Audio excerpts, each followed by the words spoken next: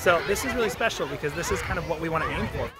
Right now, if we look at it, there's a big disparity in who has a 10 minute walk to a park and who can actually get out there safely. And we want to make sure that everyone has that opportunity. Yeah, it really means that we're setting a goal that everyone deserves equal access to the outdoors. It's very much actually in line with what we're doing with the Climate Action Plan, our Salem, and we're going to be updating the Parks Plan.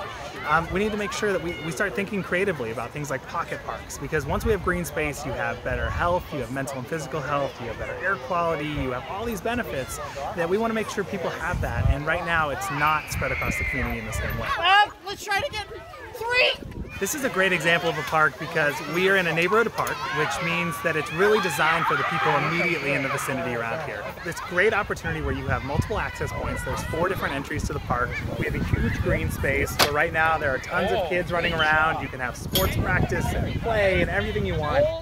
We have a ton of really nice old growth trees. We have oak trees. And so it just gives you all of those things you want. Whether it's rain or shine, you have the trees, you have a little creek.